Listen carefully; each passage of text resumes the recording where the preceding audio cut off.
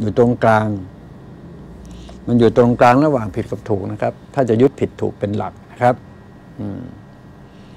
ถ้ายึดดีชั่วเป็นหลัก ก็อยู่ตรงกลางระหว่างดีกับชั่วนะครับ ถ้ายึดขาวดำเป็นหลัก ก็อยู่ตรงกลางระหว่างขาวกับดำถ้ายึดธรรมะกับธรรมเป็นหลัก สิ่งนี้อยู่ตรงกลางระหว่างธรรมะกับอาธรรมเห็นไหมครับของสองสิ่งตัวนี้ภาวะภาษาพุทธศาสตร์จะเรียกว่า อิทัปปัจจยตานะครับ ของสองสิ่งอยู่ในที่เดียวกันนะครับย้ำของสองสิ่งอยู่ในที่เดียวกันนะครับนั่นนะครับ เออทำไมลุงหอกบอกได้ ก็บอกไงอย่าเชื่อลุงบอกอะไรบอกตามนี้ก็อย่าเชื่อลุงนะ เชื่อลุงแล้วฉลาดน้อยนะ บอกให้ทราบไว้นะครับอย่าเชื่อลุง ลุงชวนคิดชวนคุยนะครับลุงชวนคิดลุงชวนคุย เก็ตหรือไม่เก็ตประการใดก็อยู่ที่แต่ละท่านแต่ละคนนะครับ จะบริโภคกับสิ่งเหล่านี้นะครับ สิ่งทั้งหมดเป็นนามธรรมที่ว่าเนี่ยบอกให้กระดาษนามธรรมมันก่อรูป ก่อเป็นรูปนะครับ นามก่อเป็นรูปนะครับจำจำหน่อย นามบริสุทธิ์ก่อเป็นรูปบริสุทธิ์นะเห็นไหมคนที่บริสุทธิ์เท่านั้นจะจะจะต้องบริสุทธิ์เท่านั้นจะจับไปแล้วจะมีมีผลมีประโยชน์นะครับ ถ้าไม่บริสุทธิ์มันก็เหมือนกับไก่ได้พลอยโอเคไหมครับ ก็อธิบายความตามนี้กันแล้วกันนะคุณเดียนะ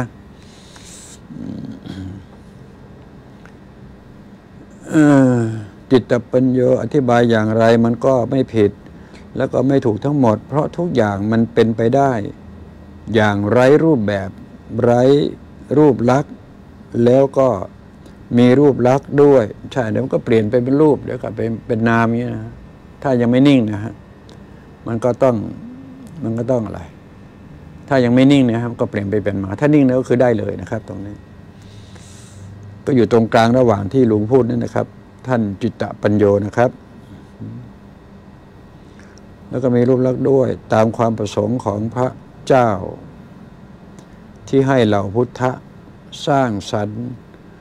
และดับด้วย อ๋อ ตามพระประสงค์ของพระเจ้า คำว่าพระเจ้ากับพระเลาะกับพระธรรมลุงบอกก็สิ่งเดียวกันนะครับคำนวณให้เรียบร้อยแล้ว เป็นสิ่งเดียวกันนะครับทำไมลุงงอกบอกได้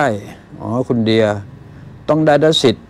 ต้องได้รับสิทธิ์ใช่ไหมประมาณนั้นนะก็ทำนองนั้นแหละครับ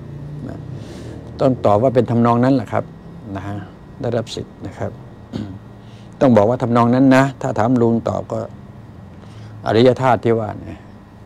ต้องเป็นเจ้าของได้รับสิทธิ์ประมาณนั้นนะครับ โอเคนะ อริยธาตุบางคนเขาก็บอกว่าเหล็กไหลเหล็กไหลหรือเหล็กหลอกทีเนี้ยเหล็กไหลเหล็กหลอกเนี่ยเหล็กไหลมีอยู่แล้วนะครับลุงว่ามันเป็นเหล็กหลอกซะมากกว่านะครับ เอานะ จะเล่าให้ฟังก็ได้เหล็กไหลเนี่ยฟังให้ดีนะ ฟังคำนี้ก่อนประโยคนี้ก่อนนะครับ